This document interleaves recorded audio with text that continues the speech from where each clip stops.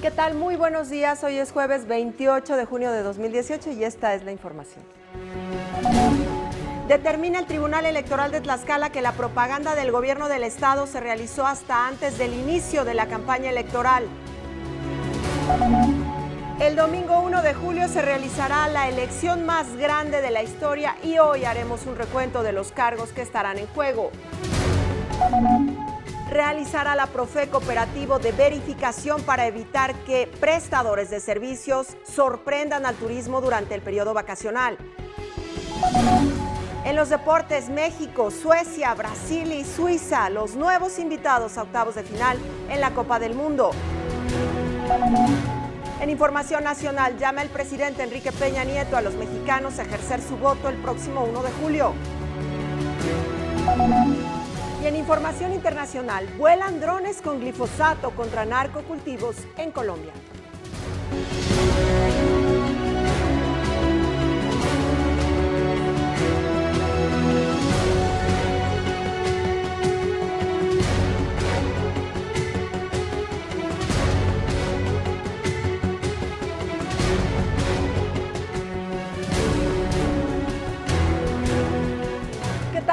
Buenos días, es jueves, jueves 28 de junio, tenemos mucha información, muchas gracias a los que nos están siguiendo esta mañana a través de Radio Altiplano, Radio Tlaxcala, Radio Calpulalpan o la señal de Tlaxcala Televisión. En Facebook estamos como Sistema de Noticias Tlaxcala, una red social pues que nos permite estar en contacto con usted, conocer sus saludos, sus comentarios. En Twitter también subimos información, ahí estamos como arroba Tlaxcala ahora y finalmente a mí me puede encontrar en la cuenta arroba noticias Carla CH. Vamos a iniciar con muy, muy buenas noticias, por cierto. Vamos a ver este promocional. Ahora Noticias y Buenas tardes Tlaxcala te invitan a ver al cantante del momento, Carlos Rivera en el Auditorio Nacional. Disfruta de los grandes éxitos de este tlaxcalteca de fama internacional. Mantente al tanto de nuestras emisiones y redes sociales si quieres ser uno de los ganadores. Recuerda, Ahora Noticias y Buenas tardes Tlaxcala tienen tu pase para disfrutar de Carlos Rivera en el Coloso de Reforma.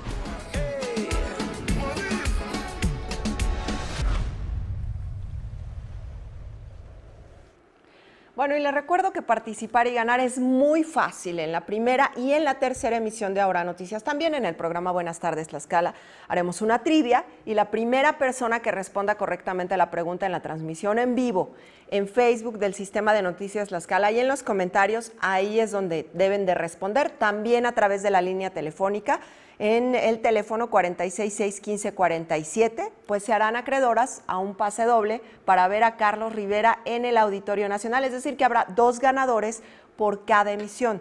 Más adelante ya le diremos cuál es la trivia del día de hoy.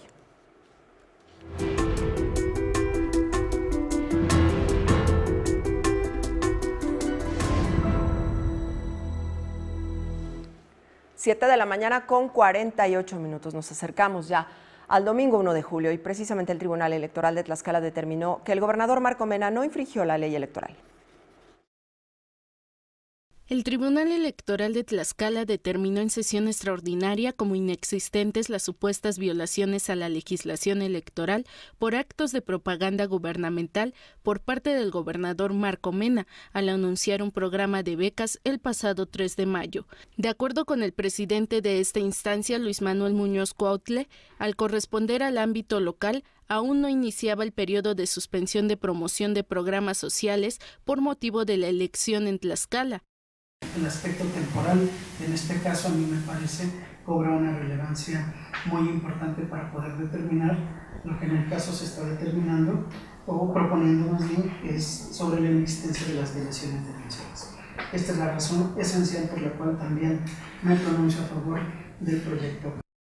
Además, por ser un asunto local, la Sala Regional Especializada del Tribunal Electoral del Poder Judicial de la Federación determinó que el acto reclamado no era de su competencia.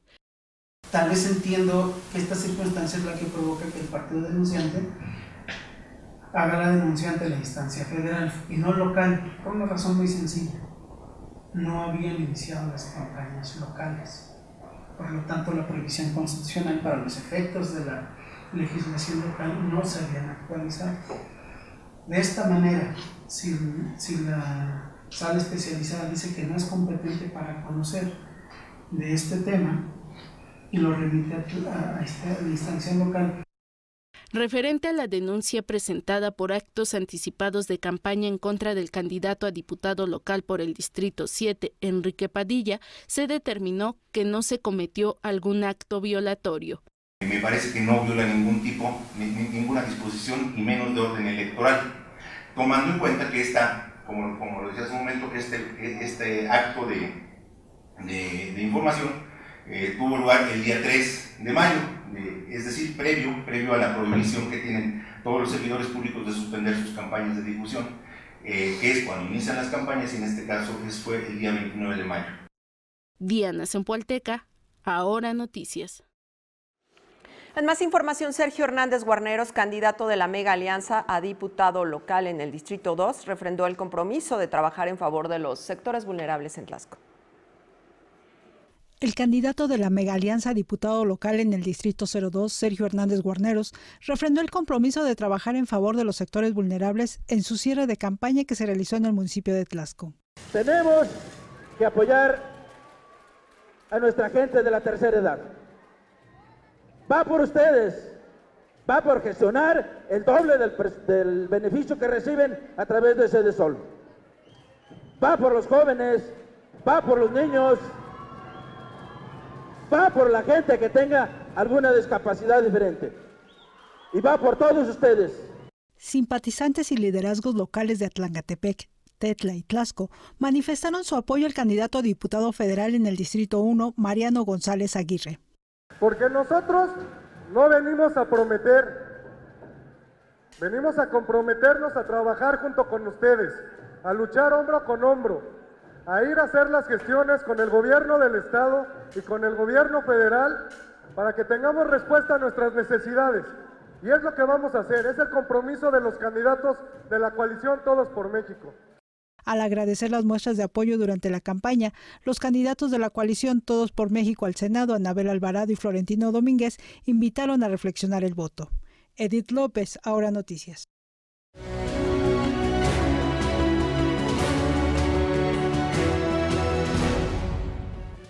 Son las 7 de la mañana con 52 minutos. ¿Cómo se encontrará el clima ya en las próximas horas? Nuestra compañera Aislet Lira nos informa como cada mañana. ¿Cómo estás, Aislet? ¿Qué tal, Carla? Muy buenos días. Buenos días para todo nuestro público de Ahora Noticias que nos escucha en radio y también nos ve por televisión.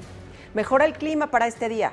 Se prevén mejores condiciones, sin embargo, se mantendrá el potencial de lluvias en gran parte del territorio nacional, también en el estado de Tlaxcala. Para el fin de semana se prevé un sábado un poquito más agradable. Bueno, pero no confiarse, llevar un paraguas. Sí, hay que salir bien preparados de casa ya que continuarán las, las lluvias potenciales gran parte de esta tarde. Muy bien, Aislet, adelante. Vamos con la información del clima para este día en nuestro país. Para ello ya tenemos nuestra imagen satelital en pantalla. Podremos apreciar que los canales de baja presión al interior de nuestro territorio nacional, así como el avance de la onda tropical número 9, continuarán afectando y generando nubosidad, así como ingreso de humedad al interior de nuestro territorio. Esto favorecerá las lluvias torrenciales, principalmente para el estado de Chiapas, que es el que se verá más afectado el día de hoy. También en el norte, en la península de Yucatán, se desplaza la tormenta tropical ya denominada Emilia. Esto no afectará nuestro territorio, sin embargo, se estará monitoreando en las próximas horas, ya lo puede usted apreciar. También hay una zona de inestabilidad en las costas del Pacífico y el ingreso de una nueva onda tropical en la península de Yucatán favorecerán los nublados al norte, al centro y al sur de nuestro territorio. Esto ocasionará lluvias puntuales muy fuertes en el norte, con rachas de viento que puedan superar los 30 kilómetros por hora, así como también acompañadas de actividad eléctrica y posibles granizadas en gran parte del territorio. En el centro de nuestro país, en la Ciudad de México, se espera el cielo nublado la mayor parte del día, una mañana con cielo despejado, el sol brillando hacia el mediodía con un ambiente cálido, con una temperatura máxima de 24, mínima de 14, lluvias con intervalos de chubascos por la tarde para la Ciudad de México y posibles granizadas. En el Estado de México también se espera el cielo parcialmente nublado por la tarde, despejado por la mañana hasta después del mediodía, una temperatura agradable la mayor parte del tiempo con una máxima de 24, mínima de 10 y se mantiene el potencial de lluvias puntuales por la tarde. Para el estado de Hidalgo también se espera cielo nublado la mayor parte de este día, despejado hacia el mediodía con un ambiente cálido, una temperatura máxima de 22, mínima de 11, tormentas torrenciales por la tarde acompañadas de posible caída de granizo y actividad eléctrica. Para el estado de Puebla también se prevé cielo despejado por la mañana hasta después del mediodía, ambiente cálido la mayor parte de este jueves, una temperatura máxima de 24, mínima de 12 y también se prevén lluvias con actividad eléctrica y posible caída de granizo por la tarde. Estas lluvias son tormentas con intervalos de chubascos por la tarde y gran parte de la noche. Aquí en nuestro estado de Tlaxcala nos espera un cielo despejado por la mañana con ambiente cálido hasta después del mediodía, una temperatura máxima de 22 grados, mínima de 11, potencial de lluvias con intervalos de chubascos por la tarde que pudieran venir acompañadas de granizo como la tarde de ayer miércoles. La información detallada al interior del estado de Tlaxcala. Más adelante con toda la información. Carla, muy buenos días. Muy bien, Aislet, más adelante contigo. Gracias. Buenos días.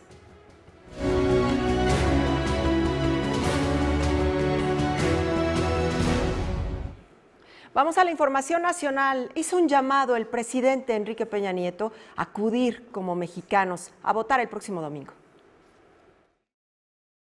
El próximo domingo, más de 89 millones de mexicanos tendremos la oportunidad de ejercer uno de los derechos fundamentales de la democracia, el derecho a elegir a nuestros gobernantes. Este será el proceso electoral más grande de nuestra historia. Más de 18 mil cargos estarán en disputa, incluyendo el de presidente de la República, gobernadores, legisladores locales y federales y ayuntamientos. El periodo de campañas se ha caracterizado por un intenso debate político, una amplia participación de la sociedad y una indiscutible libertad de expresión. Todos estos son signos positivos de la evolución democrática de México. Lamentablemente, también se registraron hechos violentos en distintas localidades. La mejor forma de manifestar nuestro rechazo a este tipo de actos es acudiendo a votar. A partir de mañana comienza un periodo de tres días en el que los ciudadanos podremos reflexionar sobre las propuestas que nos han planteado las y los candidatos. Tendremos la oportunidad de platicar con nuestros familiares y amigos sobre los distintos proyectos y tomar una decisión sobre quiénes serán nuestros gobernantes durante los próximos años.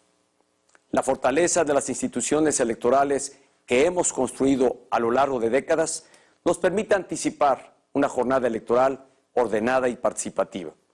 Vayamos todos a las urnas con orgullo, alegría y confianza en nuestro futuro. Recordemos que cada voto cuenta.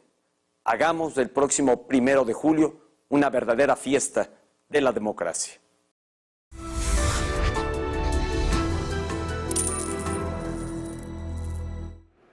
Vamos al mercado cambiario. En este jueves, hoy en ventanillas bancarias, el dólar a cómo se encuentra. Bueno, pues a la compra 19 pesos con 65 centavos, a la venta en 20 pesos con 45 centavos, en tanto que el euro, según estas mismas ventanillas bancarias el día de hoy, su precio a la compra 23 pesos con 27 centavos, a la venta en 23 pesos con 29 centavos. Información que puede ser de su utilidad en este jueves.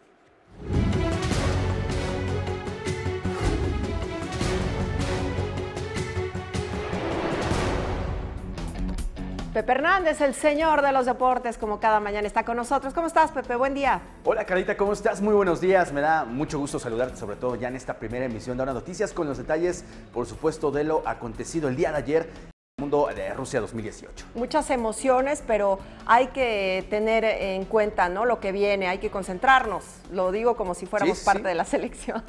sí, efectivamente, Carlita. Bueno, pues es que todos estamos eh, apoyando nuestra selección mexicana, todos somos uno cuando se trata de la Copa del Mundo. Y efectivamente, pues avanzamos ya a los octavos de final. Vamos contra Brasil. Contra un partido bastante difícil que se va a jugar el próximo lunes a las 9 de la mañana. Muy bien, adelante con esta información. Gracias, Carla. Auditorio, vamos a arrancar ahora deportes. Efectivamente, tenemos ya cuatro nuevos invitados a los octavos de final. El día de ayer se clasificó por parte del Grupo F México y en primer lugar eh, Suecia, además de que Brasil también lo hizo y el caso de Suiza. ¿Quién va contra quién y cómo se prepara sobre todo Brasil para enfrentar a México y cómo tuvo su clasificación? Aquí le presentamos los detalles. Brasil derrotó 2-0 a Serbia el miércoles en Moscú y se clasificó a los octavos de final del Mundial como líder del Grupo E. Paulinho anotó el primero para los pentacampeones del mundo a los 36 minutos tras un gran desmarque y una asistencia de su compañero en el Barcelona, Philippe Coutinho. En el complemento, al minuto 68, Thiago Silva marcó de cabeza luego de un córner lanzado por Neymar. En el otro partido de la llave, Costa Rica, ya eliminada, consiguió el empate 2-2 con Suiza. Blerim Tsemaili anotó para los helvéticos al minuto 31 y Josip Drimic al 88, pero los ticos empataron en dos ocasiones, primero por medio de Kendall Watson a los 56 minutos y luego gracias a Brian Ruiz en el complemento. Brasil, que terminó con 7 puntos, enfrentará el lunes a México en Samara por el pase a cuartos de final, mientras que Suiza se medirá ante Suecia el martes en San Petersburgo.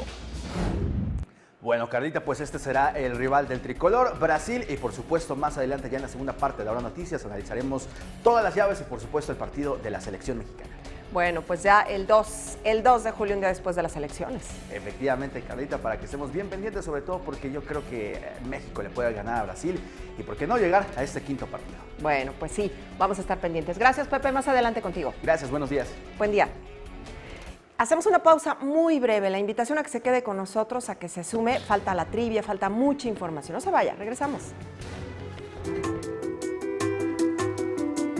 Más adelante, se conmemoró el Día Internacional de la Sordoceguera, discapacidad de la que hoy le hablaremos. Presentan el cartel de la corrida de toros en el marco de la Feria Anual de San Pablo Citlaltepec.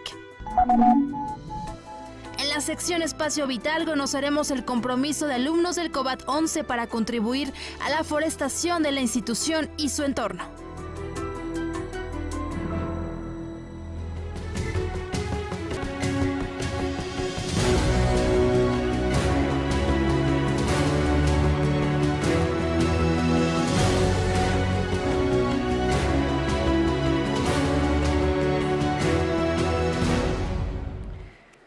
8 de la mañana con 3 minutos. Estamos de regreso ya con la información internacional. Volaron drones con glifosato contra el narco, narcocultivos también en Colombia.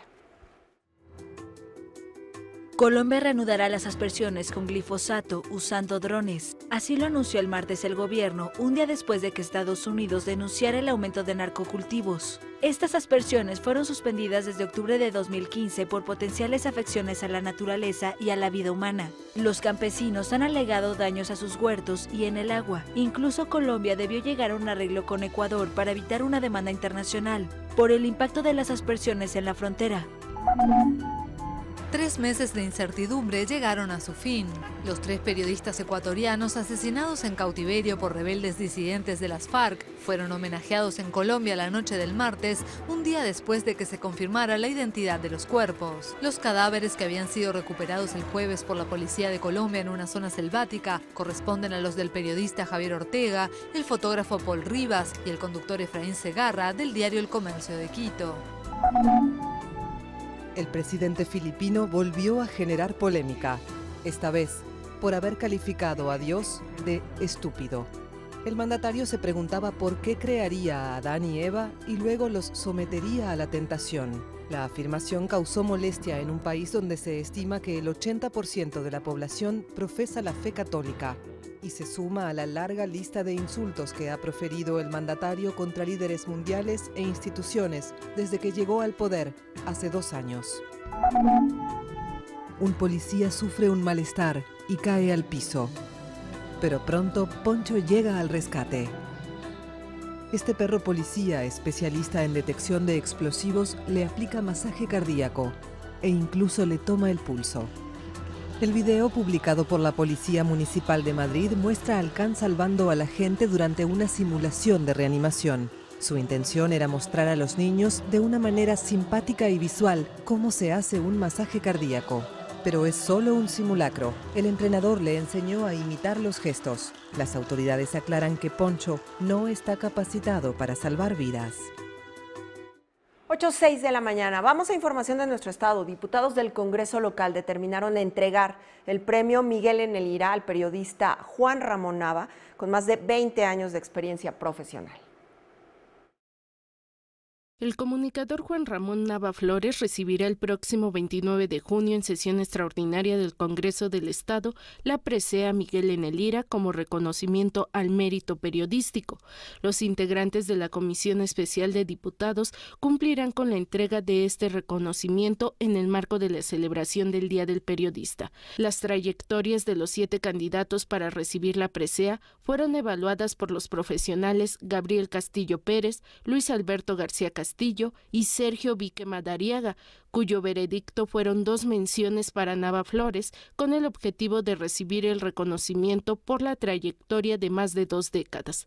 Quienes fungieron como jurado calificador reconocieron el trabajo realizado por el candidato propuesto por la Unión de Periodistas del Estado de Tlaxcala en los diferentes medios de comunicación que se ha desempeñado en el ámbito local y nacional. Cabe señalar que en la convocatoria también participaron los comunicadores Ricardo Escobar Flores, José Antonio Sagasti Redondo, Judith Soriano, Laura García Espinosa, Araceli Sánchez Cante y Mirza Cedillo Toriz. Diana Zempoalteca, Ahora Noticias. En otros temas le presentamos datos interesantes en el marco del Día Internacional de la Sordo-Ceguera, conmemorado ayer, miércoles. La sordo-ceguera es una discapacidad que afecta las habilidades diarias necesarias para una vida mínimamente autónoma. Requiere de servicios especializados, personal específicamente formado para su atención y métodos especiales de comunicación. Cada 27 de junio se celebra el Día Internacional de la Sordo-Ceguera para concientizar sobre este padecimiento. Al respecto, la licenciada en Educación Especial, Hermelinda Romero, explicó cómo se inicia esta atención con los niños. La atención que se les brinda a estos niños es brindándoles un sistema alternativo de comunicación y bueno, la forma en que se les enseña es a través del lenguaje de señas, pero como no, no lo ven, entonces el lenguaje de señas se tiene que eh, colocar la mano con la seña en la mano del peque para que así lo pueda sentir. Entonces trabajamos el alfabeto, por ejemplo, si esta es la A, yo le pongo la A en su mano para que él pueda sentir la posición. En Tlaxcala el porcentaje de personas con esta condición es casi nula, ya que existen pacientes que son sordos o que son ciegos y no carecen de ambos sentidos. La educadora especial refirió que la pérdida de habilidades sensoriales con la sordoceguera de un niño limita la comunicación con su entorno y por lo tanto su aprendizaje pero cuando se atiende al pequeño a temprana edad, desde los 45 días de nacidos, entonces ellos empiezan a recibir la estimulación a través de los sentidos que le funcionan y aparte los que no, pues entonces se utilizan los otros que le restan para que pueda tener una comunicación, para que pueda ser independiente. Y para conocer sobre la atención de este sector, Hermelinda mostró al equipo de Ahora Noticias cómo es que estos niños inician con la identificación de algunas letras. Pero como no lo pueden ver, no lo pueden percibir, entonces se trabaja en la palma de la mano. Eh, por ejemplo, esta, esta señalización es la, la E, la I, la O y la U. Para que el niño la, pueda percibir, entonces la se va a colocar en su mano y se le va a decir, siente, esta es la letra A. Entonces, para que el niño la vaya conociendo. Lo mismo, cada una de las señas que se utilizan se le van trabajando en la palma de la mano para que él las pueda percibir. Ahora, noticias, Belén Rodríguez. La Secretaría de Salud capacitó a personal médico y de, de, enfermería en reanimación neonatal con el objetivo de fortalecer la atención a los recién nacidos en el momento del parto y disminuir la presencia de patologías neurológicas en los bebés. El personal de la Secretaría de Salud participó en el curso taller Ayudando a respirar a los bebés, el cual promueve el aprendizaje para evaluar las condiciones del recién nacido y establece una atención de rutina para que en caso de ser necesario el bebé reciba estimulación y apoyo en su respiración. Con esta capacitación se busca dotar de herramientas al personal para atender a las mujeres embarazadas ante cualquier situación de emergencia, brindar una adecuada reanimación neonatal y motivar a los recién nacidos a respirar adecuadamente por medio de técnicas específicas. Y bueno, pues antes de continuar queremos agradecer a las personas que han estado llamando, han estado escribiendo por eh, obtener estos boletos para ver a Carlos Rivera en el Auditorio Nacional, a quienes participaron en la trivia de ayer en la primera emisión de Ahora Noticias para obtener un pase doble para el concierto de Carlos Rivera. Bueno, les agradecemos las llamadas a Edith Sánchez, Saraí Melo, Hugo Melo, Verónica Variana Mesa y Lisbeth Ortega. Por medio de Facebook agradecemos a Gaby Sanab, a CGSC, Saraí SG, Diana G. Ortega, Luna Huesca, Shunrey Medina Salgado, Diana G. Ortega, Ana Alondra Rosete Cortés, Areli Mendoza Zavala, Charlie Molina, Luis Vicente Melo, Mine Muñoz, Eri Melo, Silvia Guerrero y Niña U Mala. Bueno, pues estos son las personas que nos escribieron, pero ahora sí, ahora sí queremos decirles que eh, la pregunta del día de ayer fue la siguiente, antes de ser cantante, ¿a qué se quería dedicar Carlos Rivera? La respuesta correcta es sacerdote ya que estudiaba en un colegio de monjas y pues sintió que el sacerdocio era su vocación. Cuando concluyó la primaria, ingresó a un seminario, pero se dio cuenta de que su camino no era ese, sino el de la música. Y los ganadores de esta pregunta de la trivia del día de ayer son Ángel Montiel, que participó por la vía telefónica. Ángel Montiel, ganador y también por Facebook ganó Diana SZZ. A ambos muchísimas felicidades para que puedan ya eh, pues ver, disfrutar del concierto de Carlos Rivera en el Auditorio Nacional, la trivia de esta mañana. Queremos que usted se ponga pues muy trucha si es que es riverista, la trivia de esta mañana por un pase doble para el concierto de Carlos Rivera en el Auditorio Nacional es la siguiente. ¿Cuánto ganó Carlos Rivera? ¿Cuánto ganó Carlos Rivera por su primera contratación. Su primer sueldo, básicamente. ¿Cuánto? ¿Cuánto fue? Desde este momento ya puede participar. Recuerde que gana la primera persona que conteste correctamente en el Facebook del Sistema de Noticias La Escala, en la transmisión en vivo, en este momento, ahí en los comentarios, ahí conteste usted ya mismo. Y también la primera persona en responder correctamente a través de la línea telefónica, márquenos ahorita si sabe la respuesta, 466 Recuerda que no participan los mensajes privados y que si usted pues tuvo la fortuna de ser ganadora en un pase doble ya en anteriores trivias, bueno, en automático ya no participa en las siguientes trivias. Hay que dar oportunidad a más fans de Carlos Rivera de poder asistir al Auditorio Nacional. Los ganadores los daremos a conocer en nuestra tercera emisión de mañana y bueno, los boletos los entregamos el próximo viernes. Mañana, mañana mismo, síganos porque estaremos dando la, respuesta correcta y también a los ganadores.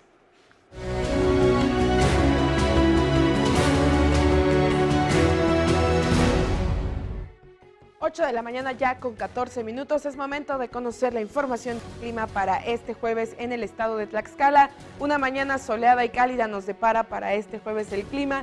Cielo despejado hasta después del mediodía. No te confíes, continuarán los nublados por la tarde y las lluvias, así que sal muy bien equipado de casa antes de realizar tus actividades por la tarde. Una temperatura máxima de 22 grados para hoy, la mínima será de 11 grados Celsius y se mantiene el potencial de lluvias con intervalos de por la tarde en todo el estado de Tlaxcala. Al norte de la entidad, en Tlaxco, Tlangatepec, Emiliano Zapata y la región, se espera también cielo despejado por la mañana, ambiente cálido. Sin embargo, el descenso marcado de la temperatura por la tarde y parte de la noche. Lluvias puntuales fuertes, máxima de 21, mínima de 9 grados para esta región. Principalmente por la noche se sentirá el descenso de la temperatura en Calpulalpan, Hueyotlipan y la, y la zona cercana.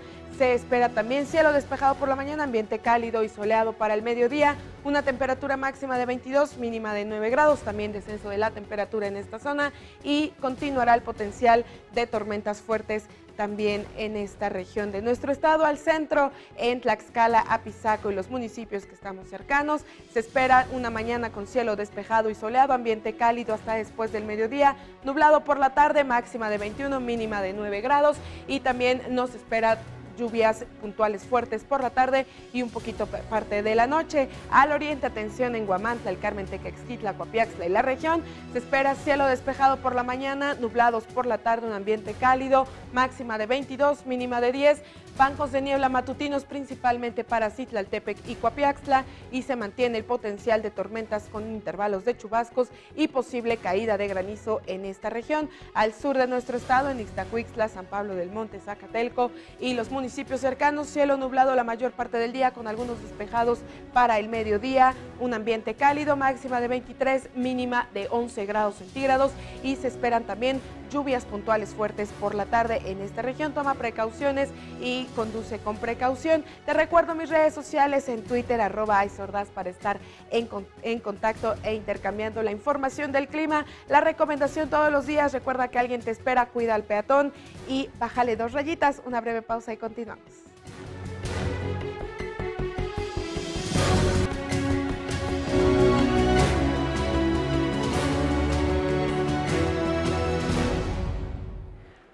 8.19 de la mañana ya estamos de regreso. En una entrega pasada sobre esta sección de Espacio Vital le presentamos lo que están haciendo los jóvenes del COBAT para integrar en sus agendas educativas temas del cuidado del medio ambiente. Bueno, hoy vamos a conocer lo que están realizando los jóvenes del COBAT 11 en Panotla.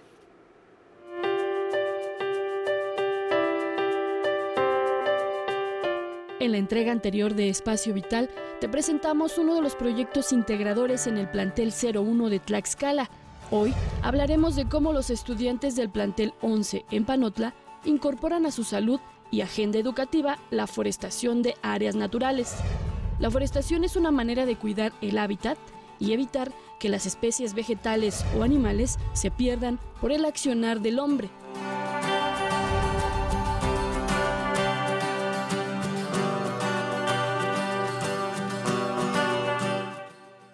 Los árboles naturalmente captan el dióxido de carbono de la atmósfera durante la fotosíntesis y lo usan para formar carbohidratos utilizados en la estructura de la planta. Además, liberan oxígeno como subproducto para beneficios de los seres vivos. Por estas razones, los estudiantes del plantel 11 en Panotla, desde el primer semestre, tienen entre sus actividades académicas plantar un árbol, el cambio de mentalidad al reflexionar sobre la importancia de plantar un árbol es tal que los jóvenes bachilleres participan en reforestaciones masivas. No solo es para obtener un 10 al final del curso, lo hacen por el compromiso con su escuela, con su medio ambiente, afirma Manuel Lucas Sánchez, docente de la institución. Dentro de este procedimiento de trabajo que se tiene del enfoque por competencias, se han logrado muy buenos resultados en cuestión de reforestación, del cuidado de las áreas verdes de los planteles. Carlos y Jesús, alumnos de sexto semestre, afirman que plantar un árbol es una obligación para cuidar el planeta. La reforestación algo importante ya que pues, eh, precisamente por la falta de eso hemos tenido muchos problemas en el ambiente, la contaminación, exceso de calor, muchas circunstancias que caen por falta de la forestación. Así como nosotros este, experimentamos y convivimos, nos comunicamos, nos relacionamos, eh, también es algo bueno porque ya que lo que son los meses de enero a abril de cada año aproximadamente es cuando mm, la gente ocasiona incendios y bueno, se pierden grandes hectáreas de, este, de árboles y bueno, está bien que nosotros reforestemos porque pues ayuda, ayuda al ambiente.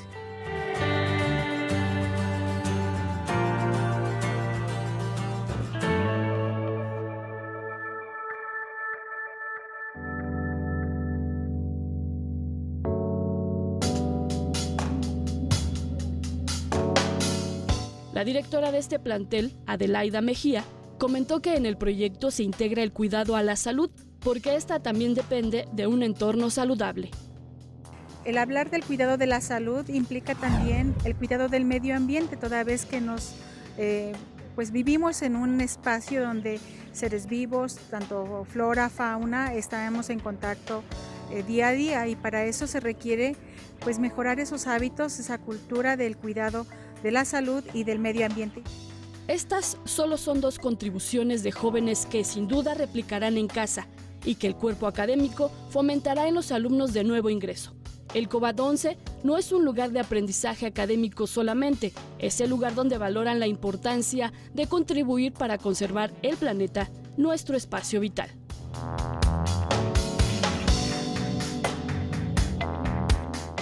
Con imágenes de Raúl del Razo, edición Reulo Carro, Belén Rodríguez, Ahora Noticias.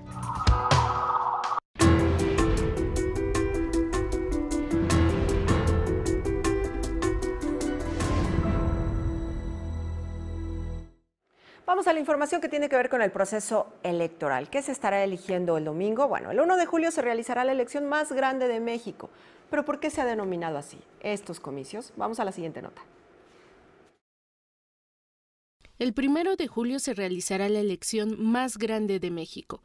¿Pero por qué se han determinado así estos comicios? Pues es que durante este día se elegirán más de 3.400 cargos. A nivel federal se van a definir 629 cargos. Son los siguientes. Un presidente de la República, 128 senadores, de estos 64 son por el principio de mayoría relativa, 32 por el principio de representación proporcional y 32 bajo el término de primera minoría. También se renuevan 500 diputados federales, 300 por mayoría relativa y 200 por representación proporcional. Al igual se elegirán ocho gobernaturas en Chiapas, Guanajuato, Jalisco, Morelos, Puebla, Tabasco, Veracruz, Yucatán y una jefatura de gobierno en la Ciudad de México, 972 diputaciones locales. En el caso de Tlaxcala serán 15 diputaciones por el principio de mayoría relativa y 10 por representación proporcional. También se elegirán 1.596 presidentes municipales, 16 alcaldías, 1.237 concejales, 1.664 sindicaturas, 12.013 regidurías, 19 regidores étnicos. En el caso de juntas municipales se definen 24 presidencias, 24 síndicos y 96 regidurías. Solo Baja California Norte y Nayarit no tendrán elecciones locales, mientras que Jalisco, Guanajuato, Puebla, Morelos, Tabasco Chiapas, Yucatán y la Ciudad de México renovarán la totalidad de sus cargos. Diana Sempualteca, ahora noticias.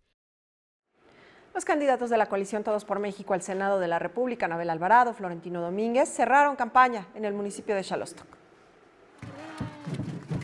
Los candidatos de la coalición Todos por México al Senado de la República, Anabel Alvarado y Florentino Domínguez, cerraron sus actividades de campaña en el municipio de Xalostoc acompañados también del candidato a la Diputación Federal por el Distrito 1, Mariano González Aguirre. El primero de julio lo que está en juego es la posibilidad de tener un país mejor, de tener un México que siga avanzando, de tener un Tlaxcala que siga creciendo y en el que podamos todas y todos tener oportunidades. Eso es lo que está en juego el primero de julio. El aspirante a la Diputación Federal, Mariano González Aguirre, subrayó que el campo es una de sus prioridades. Por su parte, la candidata de la Megalianza a la Diputación Local por el Distrito 3, Mónica Morillón, se comprometió a representar al sector primario en el Congreso del Estado. Sabemos de esas necesidades y que hoy tenemos el compromiso de redoblar ese trabajo y ese esfuerzo para que las necesidades en nuestro sector campesino que esas reglas de, operación a nivel federal se puedan regular para que tengan mejores beneficios. Acompañados de simpatizantes provenientes de los municipios de Xalostoc, Terrenate, Zompantepec, Lázaro Cárdenas y Emiliano Zapata, los candidatos coincidieron en que José Antonio Mit es la mejor propuesta para convertir a México en una gran potencia. Ada Morales, ahora noticias.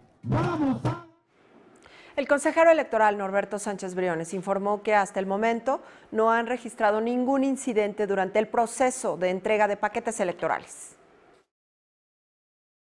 Como parte de los preparativos para la jornada electoral del próximo 1 de julio, el Instituto Tlaxcalteca de Elecciones registra un avance de entrega de los paquetes electorales superior al 60%, con la debida vigilancia en la que participan policías estatales y municipales. De acuerdo con el consejero Norberto Sánchez Briones, se busca dar certeza a la ciudadanía de que podrán expresar de manera libre su decisión. En el instituto también tenemos ya este, la seguridad tanto municipal como estatal que nos están apoyando durante día y noche, en las madrugadas que estamos saliendo y entregando paquetes electorales, tenemos la vigilancia con nosotros y creo que hay una garantía y una certeza a la ciudadanía de que este, haremos un buen trabajo el próximo premio de julio y que salga, a votar libre, tranquilo y, este, y que todo lo hagamos de manera civil. Nosotros estamos planeando que vamos a terminar el día jueves, este porcentaje, yo calculo que estamos ya casi al 60-70% de la entrega de paquetes electorales. Faltan unos porque dependemos de los horarios en los cuales nos reciban los presidentes de casilla Sánchez Briones dijo que se reforzarán las medidas de seguridad para que no haya desconfianza en el desarrollo de los comicios ni se registren situaciones que se presten a suspicacias. Eh, marcar bien la tinta indeleble, marcar bien la, este, credencial con nuestra marcadora, la credencial del elector para que no se vuelva a utilizar, este, tener muy claro que en la lista nominal que estamos llevando el nombre de quien está votando y sobre todo lo que es la posibilidad de la firma atrás de la boleta. Recuerden que esta práctica es una práctica que ya no se estaba haciendo muy recurrente porque la boleta, la boleta electoral tiene muchas medidas de seguridad, tiene más medidas de seguridad a veces que un billete de los que traemos en la cartera. Entonces eso ayuda mucho a la garantía de la ciudadanía de que pueda salir a votar libremente. Diana Sempualteca, ahora noticias. Vamos a una pausa, pero antes agradecemos a la gente que nos está escribiendo, Javi Molina, Hugo Ángel, René Díaz Serrano, Roberto García, Ana Mari Nava, Silvia Guerrero, Carlos Martínez, Araí, bueno, tanto saludos como por la trivia, ¿eh? así es que bueno, pues mañana en la primera emisión tendremos la respuesta del eh, ganador y la respuesta correcta de la trivia de este día. Vamos a hacer una muy breve pausa, no se vaya, regresamos.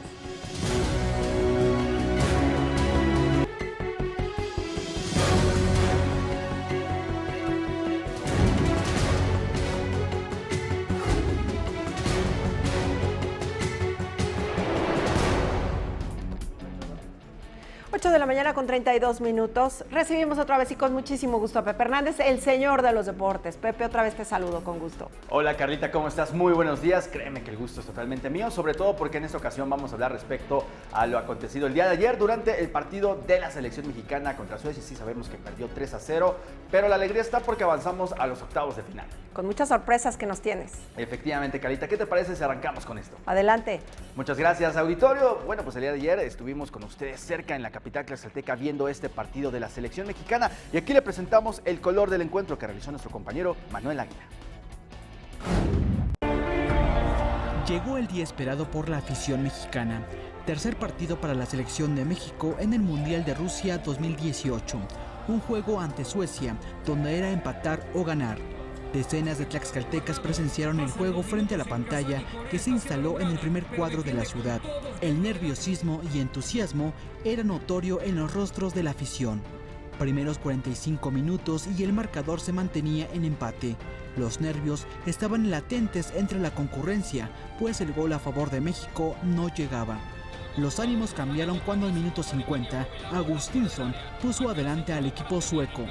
Los sentimientos de frustración eran evidentes y fueron mucho más cuando al 62 y 74 Granbit y Álvarez pusieron el 3 por 0 definitivo.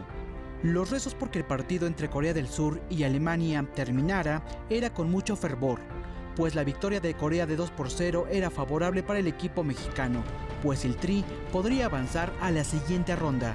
El juego terminó y no hubo celebración como se esperaba, pues la afición reconoce que Corea nos echó la mano. Muy nervioso y pues... ¡Gol de Corea! Ahí está el gol. No, pues sí, ya México con la calificación asegurada, ¿no? No era la manera, pero pues se logró. Pues muy emocionada, la verdad. Desde el principio no he dudado de que México puede lograrlo, pero sí se vio que ahorita a México le hace falta apretar un poquito más, ¿no? Nada más que no se confíe y ya con eso estamos. Gracias a Corea que al final de cuentas nos, nos ayudó un poquito. Dependimos de la mano de Corea, obviamente, pero pues así es esto, así es el fútbol. Es que hay que hacer, no se puede hacer nada. Por más que quieramos apoyar a la selección, no, no da más. Esperemos y esperar que para el siguiente partido, bueno, pueda jugar como contra Alemania. Que le pongan ganas, que le echen ganas, ¿no? Que es lo primordial. Jugaron bien contra Alemania, no sé, se fueron cayendo ahorita. La selección está en octavos de final y se asegura que habrá más nerviosismo y rezos para el próximo juego del equipo mexicano, que será el lunes 2 de julio a las 9 de la mañana. Bueno, pues sí, vimos muchas emociones durante el partido, alegría al comienzo y después desesperación, decepción y nerviosismo, pero al final una, eh, alegría bastante agridulce por este pase a los octavos del final. Esto fue durante el encuentro, pero después del partido, por supuesto, esperábamos que ganara la selección y que hubiera un festejo. No fue así, sin embargo, los exaltecas, ya lo mencionábamos, se encontraban contentos y además estuvimos ahí para presenciar ese partido, mi queridísima Aislet, y además un invitado especial. ¿Quieres saber de quién se trata? Cheque la siguiente nota.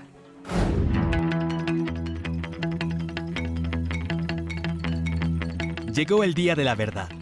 México llegaba ante Suecia inspirado con seis puntos y con la esperanza de avanzar primero de grupo. Es por eso que el equipo de Ahora Noticias salió del estudio para vivir este cotejo cerca de ustedes. Hola amigos de Ahora Noticias, nos encontramos Ice y yo desde la capital tlaxcalteca para ver el encuentro de México contra Suecia. Adivina qué, Pepe, te tengo una sorpresa enorme. Alguien muy especial nos acompañó este día. ¿En serio? ¿Quién? Pues yo. ¡Pedro el reportero! Pedro, ¿cómo estás? ¿Estás emocionado por este partido? Estoy emocionado y a la vez nervioso. Oigan, pues ¿qué les parece si vamos a ver este encuentro, Ice? Claro que sí, acompáñenos. ¡Vamos, ¡Vamos! ¡Sí! Empezó el partido. Los aficionados estaban muy nerviosos porque este encuentro ante Suecia era de vida o muerte. Y ahí nos encontrábamos entre la multitud, Ice, Pedro y yo. El primer tiempo estuvo parejo, pero para la parte complementaria todo fue sufrimiento, sobre todo por las fallas arbitrales y los goles del rival, que apagaron poco a poco la alegría de los presentes. ¡Remate, remate, atención con él! ¡Gol de Suecia, lo agarró! Pero al final, la suerte sí jugó a favor de México, ya que Corea del Sur eliminó a Alemania, la campeona del mundo, y con eso al tricolor le bastó para avanzar a los octavos de final. Y nosotros no fuimos los únicos satisfechos por este logro. Pues la verdad un poco triste, esperaba un mejor resultado, pero pues bueno, estamos en la siguiente ronda, así que está ahí. ¿Y tú, Braina? Pues estuvo muy lamentable depender de, pues, de otro equipo, pero pues pasamos, que yo creo que es lo, lo importante, lo bueno. Pudo haber sido muchísimo mejor, pudimos haber visto un México más, más fuerte, esperábamos creo que un partido muchísimo mejor. Yo siento que fue un partido que no es justo, porque trabajamos dos anteriores que los ganamos muy bien, pero este, aunque no sepa derrota, sirvieron los partidos anteriores para estar en octavos. ¿Qué mensaje le enviarían ustedes a la selección? Pues que no se decepcionen, le echen ganas y, eh, y para salir, a- para que sientas lo que es una victoria, tienes que saborear una derrota. ¡Rayos! ¡Eh! ¡Hola, Pedrito! ¿Dónde estabas? ¿Por qué estás triste? Pues es que 3 a 0 no es fácil superarlo. Claro que no, Pedro, pero no debes estar triste porque debes tomar en cuenta que aún así estamos en octavos y ganamos dos partidos y le ganamos a Alemania, que es el campeón del mundo. Ok, entonces, ¿es por eso que estás feliz? Claro que sí. Claro que sí. Además, Pedrito, ve preparando tu playera verde porque México va a jugar el próximo lunes a las 9 de la mañana. Ok, pues me la pondré el lunes entonces. Eso, Pedrito. ¿Qué les parece si regresamos al estudio? ¡Vamos! ¡Vamos! ¡Vamos, México! Bueno, pues estuvo el buen Pedrito, seguramente lo veremos el próximo lunes. Además, el gobernador de Tlaxcala, Marco Mena, se congratuló por el pase de la selección mexicana a la siguiente ronda de la Copa Mundial en Rusia y a través de su cuenta de Twitter, Marco Mena comentó lo siguiente, a dejar atrás el traspié con Suecia y adelante, con todo frente a Brasil. Por supuesto, recordemos que este partido contra Brasil es este lunes a las 9 de la mañana, un partido bastante interesante en el cual esperamos que al tricolor le vaya bastante bien, sobre todo para pasar a ese quinto partido. Y precisamente ya que estamos hablando de este sufrido pase a los octavos de final, pues no cabe duda que en los últimos minutos del encuentro nos volvimos todos coreanos, quién sabe por qué, y sin duda también los mexicanos que están en Rusia se los agradecieron a la afición coreana y aquí le presentamos una nota al respecto. Adiós Alemania. Hinchas mexicanos y suecos festejaron el miércoles en Ekaterimburgo la clasificación de sus selecciones a los octavos de final del Mundial. El Tri, que tenía el pase casi asegurado, cayó 3-0 frente a los nórdicos. Pero cuando los ánimos se esfumaban, apareció Corea del Sur con una sorprendente victoria 2-0 sobre Alemania, que eliminó a los actuales campeones del mundo y propulsó a México y Suecia a la fase de los mejores 16. En Ciudad de México, los festejos de los aficionados fueron todos en agradecimiento a Corea del Sur. Ahora los mexicanos rezan para que la suerte los siga acompañando en octavos de final. Bueno, pues mucha alegría, por supuesto, por el público mexicano que se encuentra en Rusia y, por qué no, también aquí en toda la República. Vamos a hacer rápidamente una recapitulación entonces de los resultados y, por supuesto, también cómo se encuentra ya la Copa del Mundo. Iniciamos con esta derrota de la selección mexicana 3 a 0 a manos de Suecia. Además, en el mismo sector y lo que fue la sorpresa, sin duda, de este día también fue la derrota de Alemania 2 por 0 contra Corea del Sur. Y además decimos sorpresa porque sin duda se esperaba que Alemania defendiera su título. Sigue la maldición del campeón de mundo. Además, vamos justamente a ver cómo eh, queda la tabla de posiciones. En, en primer lugar está Suecia con 6 unidades, en segundo lugar se clasificó México también con 6 unidades, pero con una diferencia de menos un gol. En la tercera posición Corea con 3 puntos. ¿Y quién lo diría? Al término de la jornada número 3, eliminado Alemania y además en el último lugar. Y precisamente pues la selección mexicana está muy contenta por este paso octavos de final, a pesar de tener un cierre que no esperábamos mucho y muy decepcionante. Lo que se tiene que rescatar es que le ganó al campeón del mundo y además le ganó a Corea 2 por 1. De estos eh, dos resultados deben sacar lo positivo para vencer a Brasil. Y precisamente ya que estamos hablando de la verde amarela, Brasil le ganó 2 por 0 al equipo de Serbia en un encuentro en donde se clasificó también en primer lugar. También en este mismo sector hubo un empate entre el equipo de Suiza y Costa Rica. Los de Costa Rica ya estaban eliminados matemáticamente y Suiza se clasificó en el segundo lugar también de este sector. Y vamos a ver también cómo se encuentran ya los resultados y los, las llaves de los octavos de final. Recordemos que Uruguay va contra Portugal, Francia contra Argentina, ahí está el partido de Brasil contra México, España va contra la anfitriona Rusia, Croacia va contra Dinamarca y finalmente Suecia va contra Suiza el día 3 de julio. Sin duda, hoy también tendremos ya los últimos clasificados, duelos muy importantes en donde vemos ya a los mejores de cada sector. Y hoy son los últimos partidos, 9 de la mañana ya en unos minutos más, para que no se los pierda. Senegal va contra Colombia, Japón va contra Polonia. El partido sin duda de este día y de la jornada número 3, el encuentro entre Inglaterra y Bélgica. Un encuentro en donde están los dos mejores goleadores del torneo, Lukaku y Harry Kane. Y finalmente Panamá, quien ya está eliminado, bueno, pues querrá irse con la frente en alto ante Turquía. Esto a la una de la tarde. Así que, auditorio, pues estos son los encuentros, no se los pierdan. Y por supuesto esperando ya tener a los últimos invitados en los octavos de final más adelante en las diversas emisiones informativas. Carla, pues tendremos los detalles de estos encuentros. Muy bien, Pepe, ya nada más, recuérdanos el horario del partido de México ya el lunes, nada más para agendarlo. Sí, efectivamente, recuerden, 9 de la mañana, seguramente antes, eh, si usted lo quiere ver en diferentes canales, pues tendrán una previa, pero a las 9 de la mañana en punto, que será el inicio de este encuentro, y bueno, pues será el día lunes, bien lo comentabas, para iniciar bien la semana precisamente, Carlita, y por supuesto esperando que sea un triunfo de nuestra selección. Muy bien, pues entonces que nos sigan en el noticiero y ya terminando, que le cambien para poder ver el partido. Muchísimas gracias, Pepe. Efectivamente, Carlita, que tengas un excelente día. Igualmente para ti. Vamos a continuar con información. Para eso nos vamos hasta Citlaltepec. En el marco de su feria anual, el Instituto Tlaxcalteca de Desarrollo Taurino presentó el cartel de la corrida mixta entre matadores y novilleras. En el marco de la festividad anual de San Pablo Citlaltepec, el Instituto Tlaxcalteca de Desarrollo Taurino presentó el cartel para la corrida entre matadores y novilleros, al realizarse el próximo domingo 8 de julio. El director del instituto, Luis Mariano Andalco, destacó que el municipio de Citlaltepec ha incursionado en los últimos años con festejos taurinos de calidad. Es una población que ya se ha distinguido por organizar eventos, eventos taurinos. El año pasado fue una novillada, hoy están organizando una corrida mixta eh, con dos jóvenes toreros tlaxcaltecas, un novillero que es una eh, de las cartas fuertes de Tlaxcala en esta corrida participarán los matadores Gabriel Sánchez el Gaby y Alejandro Lima el Mojito, además de Ulises Sánchez el Ciclón de Tlaxcala, que lideran cuatro ejemplares de la ganadería de García Méndez. Creo que nos beneficia a todos que esto se lleve bien, que el turismo regrese a estas ferias, que es lo que trae dinero, trae derrama económica, trae empleos hacia los, hacia los pobladores y que bueno, pues lo tenemos que cuidar y esto es parte fundamental de lo que pueden hacer las instituciones, pero principalmente eh, la gente del pueblo, la gente, los ciudadanos que viven ahí. La Plaza de Toros será portátil con una capacidad de 3.000 personas y acceso gratuito. Previo a la corrida, se presentará un grupo de recortadores de América, además de un festejo con toros en las principales calles de Citlaltepec, con todas las medidas de seguridad y reglamentos. Ada Morales, ahora noticias.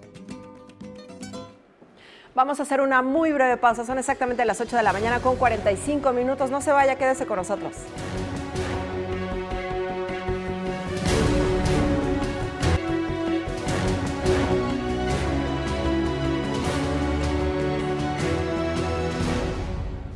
...8.48 de la mañana, vamos a más información nacional. El presidente del Comité Académico del Voto Informado 2018, Fernando Castañeda Sabido, afirmó que 75% de los candidatos a puestos de elección popular a nivel federal y local pusieron a disposición de los ciudadanos información veraz, útil y oportuna sobre sus programas y plataformas. En conferencia de prensa junto con el director de Educación Cívica y Participación Ciudadana del Instituto Nacional Electoral, Héctor Arámbula, el catedrático señaló que 1.685 candidatos a nivel federal y local atendieron la convocatoria, de un total de 2.200 registrados, lo cual dijo, en general, es una respuesta buena. A menos de una semana de la jornada electoral en la que se realizarán elecciones locales y federales, entre ellas la de presidente de la República, marcar correctamente la boleta electoral resulta indispensable para que el ciudadano ejerza su derecho en plenitud. Es justo ante este derecho que el Instituto Nacional Electoral lanzó la iniciativa Voto Sencillo. Bueno, el voto sencillo implica, es una recomendación que estamos haciendo a la ciudadanía en donde eh, utilice la boleta como, como está diseñada. ¿no? Cualquier marca que deje claridad en la, en la voluntad del lector es, es, válida, pero una vez más, pues normalmente utilizamos eh, eh, la cruz, la X, ¿no? o la palomita, o la carita feliz, o alguna marca que deje ver que es, que es un, un signo de aceptación de la candidatura o el emblema del partido político por el que estás votando. Si quieres votar por una candidatura no registrada, eh, escribes en, el recuadro de la candidatura no registrada y, listo, ¿no? Pero lo más eh, relevante aquí es que eh, debes dejar en claro tu, tu, voluntad, cómo estás, por quién estás votando. Y me parece que ahí, si identificas un solo recuadro, un candidato, es una recomendación que estamos haciendo sin que signifique que eh, se pueda votar de la, de la otra forma. El Instituto Nacional Electoral instalará el domingo primero de julio 156.857 casillas en todo el país, donde habrá elecciones concurrentes en 30 de 32 entidades, por lo que se podrá votar en una casilla única por los cargos federales y locales. El presidente Enrique Peña Nieto reconoció a la selección nacional de fútbol por su pase a octavos de final de la Copa Mundial. A través de su cuenta de Twitter, el mandatario mexicano señaló, gracias a mi selección por una emocionante primera fase. Ahora a ver hacia adelante. Ya estamos en octavos de final, nuestro apoyo total para seguir triunfando, unidos a los mexicanos, nada nos detiene. Esta mañana el equipo mexicano clasificó los octavos de final de la Copa Mundial de manera dramática, gracias a que Corea del Sur venció 2 a 0 a Alemania, por lo que la derrota de hoy por 3-0 ante Suecia terminó de manera feliz. 8 de la mañana con 51 minutos. La Profeco emprendió el operativo turístico vacacional para regular las prácticas comerciales, verificar que los proveedores cuenten con los precios a la vista. La Procuraduría Federal del Consumidor a partir de este 22 de junio emprendió el operativo turístico vacacional para regular las prácticas comerciales, además de verificar que los proveedores cuenten con los precios a la vista, entreguen debidamente los comprobantes de las compras realizadas y cumplir con las disposiciones de la Ley Federal del Consumidor. Estas acciones se llevarán a cabo hasta el próximo 22 de agosto, tiempo en el que se prevén realizar más de 200 visitas a distintos comercios como tiendas de conveniencia, prestadores de servicios turísticos, bares, restaurantes, entre otros. Además, se contará con el apoyo de algunos módulos instalados en sitios estratégicos, como es la central camionera, para que se respeten las corridas programadas y los precios establecidos. Los municipios de Tlaxcala, Chautempan, Zacatelco, San Pablo del Monte, Calpulalpan, Huamantla y Nanacamilpa serán en los que se incrementen las visitas. Cabe señalar que en el caso de Nanacamilpa se coordinan acciones para que los turistas que acceden al santuario de la Luciérnaga no vean afectados sus derechos. Diana Zempualteca, ahora noticias. 8.52 de la mañana. También sobre estas vacaciones, el Campamento Esperanza ofrece una alternativa de diversión y entretenimiento en este verano. Campamento Esperanza ofrece una alternativa de diversión y entretenimiento en el campamento de verano. Le invita a su director Tomás López. Somos un campamento con 46 años de experiencia, somos de los campamentos pioneros aquí en México y somos uno de los secretos mejor guardados en Tlaxcala porque llevamos 30 años desarrollando programas de naturaleza, de cultura, de aventura aquí mismo en Tlaxcala para niños y jóvenes y adultos eh, de toda la República, inclusive también extranjeros. La primera opción es de martes 17 a sábado 21 de julio. Las siguientes de martes 24 a sábado 28 de julio. Y son programas que incluyen senderismo, campismo, deporte de aventura como tirolesa, rapel, escalada, todo ello por supuesto en forma sumamente segura por personal calificado, con equipo certificado y por supuesto que sea de disfrute, donde el niño, el joven, toma la opción de participar y decide cómo superar retos y crecer en el proceso.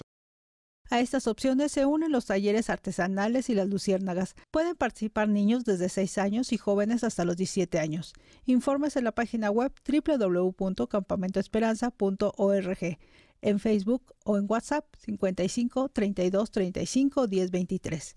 Edith López, ahora noticias.